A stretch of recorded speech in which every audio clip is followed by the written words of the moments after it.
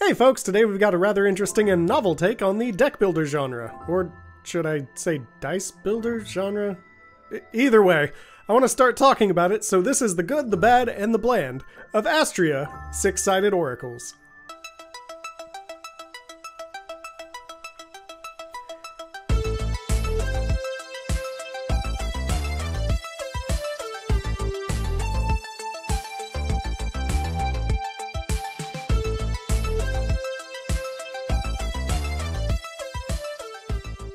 Astrea is developed by the folks over at Little Leo Games, and there's a lot going on with it. In terms of gameplay flow, the game sees you going through three acts, choosing your paths to decide which resources you want to pick up on the way to each of the act's bosses, while dealing with some combat encounters along the way and slowly building up your dice decks to help you through all of it. Which brings us to the fact that all of your cards and the enemy actions are actually dice that have six potential outcomes getting rolled whenever they are drawn to figure out what action you'll be able to perform with it on that turn. The dice themselves have a few separate categories that they fall under. There's the starting die, which are the dice your character starts the run with, safe die, which tend to have every dice face be a small beneficial effect, balanced die, which are slightly stronger but have some negative options on them, risky die, which tend to have very powerful effects but also quite a few very powerful negative effects on them, and epic die, which tend to grant the powerful effects of risky die with none of the negative effects. As could be expected, each character has their own slew of character-specific mechanics and actions that can appear on dice, different sized health pools, as well as unique actions called virtues that they can perform as they take damage. The term damage is kind of a strange beast in Astrea, as there's really two different damage types purification and corruption. Purification is what damages the corrupted enemies but can also serve to heal you and your buddies, while corruption heals enemies and damages you and your buddies. With the addition that once an enemy takes a certain amount of corruption, they also perform a special action that varies from enemy to enemy. The virtues that characters can use bring an entire other level of strategy to the mix, as it means taking damage can sometimes be a huge benefit, particularly since you can use the virtues multiple times a turn if you can bring the health back up and down again adding a whole nother layer of risk and reward to the decision-making process. The health system is another rather unique aspect, as in addition to having their corruption bar, each character also has a certain number of hearts. Whenever the corruption meter fills, the character loses a heart, resets to full purification, and continues on, only ending a run once they've run out of hearts. Astrea also does some interesting things with some of its buffs, you have your star blessings, which provide a small benefit or mildly changes how you might interact with certain systems. Then the black hole blessings, which are stronger and sometimes drastically change build possibilities, but always come with some form of a downside. Astrea also smartly gives quite a few actions on dice that allow the player to either re-roll dice, select a specific side of a die, convert corruption into purification, or just discard a die to either draw or deal purification. So you can get plenty of ways to deal with bad rolls to minimize your risk.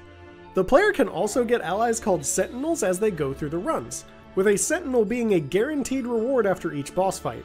These Sentinels vary, but between them can do most of the basic actions available in the game, like the aforementioned rerolling or side selection, in addition to character-specific Sentinels that can utilize that character's specific mechanics to help push a build even further. The Sentinels can also level up at certain shops littered throughout the run using star shards you get as a reward from battles and events, and every time you go to select a Sentinel, you have the option of seeing what that Sentinel's dice will do and how that Sentinel will change as it levels, to allow you to better decide which one is right for you.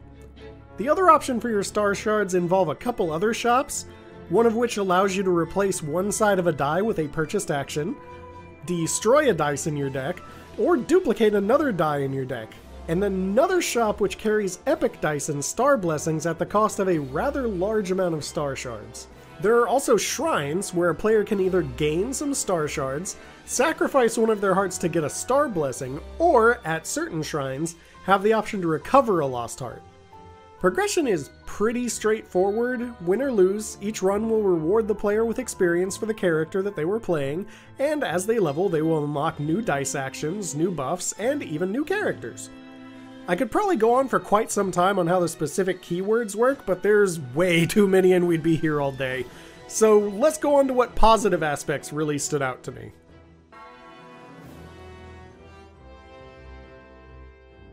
The sheer amount of action variety and therefore build variety is absolutely wild, and makes it so every run can potentially lead to new and interesting interactions for a good long while. There's also a very interesting dice action called Forging, which allows you to rewrite a die's face to the forged action for the rest of the run. Meaning you can slowly make every negative option in your dice pool into a positive action, and eliminate basically all risks so long as the rest of your deck is capable enough to stall long enough to do so. The art, sounds, and style are also pretty fantastic and fits the tone really well.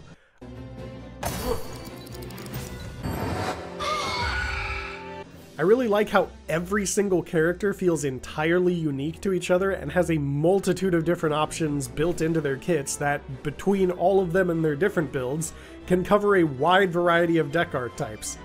Like being a summoner? Hey, there's a dude who will always have two sentinels that you can manipulate. Like just pure RNG stacking? Here's someone who has and benefits from a multitude of random hits and effects. Are you an Invoker player and feel all this is too simple? Not to worry, because this one has orbs that have active effects and you can rotate through, and that also has specific die actions that require specific orbs to be active, or you'll suffer a severely negative effect. One feature that also stood out as a minor thing, but if you should fail in a run, you can just immediately hit retry after your experience gains to go back in as the same character. Useful for when you want to just jump back in and see what nonsense buff stacking you'll get this time as Sothis. Now while I really do enjoy this game, it's not perfect. So let's move on to the parts that I feel might not be for everyone.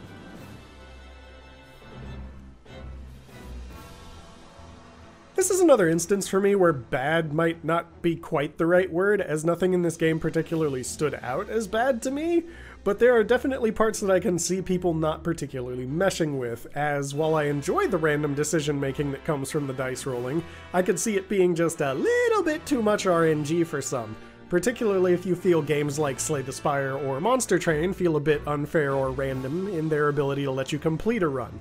As even with the options presented to minimize risk and randomness, there is still going to be a bit more that's somewhat out of your control sometimes than your typical deck builder.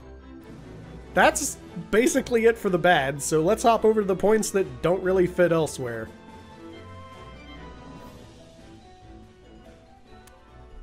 There's not a whole lot to say in this section, honestly. While it wasn't a problem for me personally, one thing that might be a sore point for some people is the bit of a learning curve as you try to get used to the myriad meanings of the icons and die faces, and the slight visual confusion of which effect it is so you can tell what they do at a glance rather than having to constantly stop and scroll over them, as there can be a few similar looking icons. And that's really about it for this section too, so let's head to the conclusion.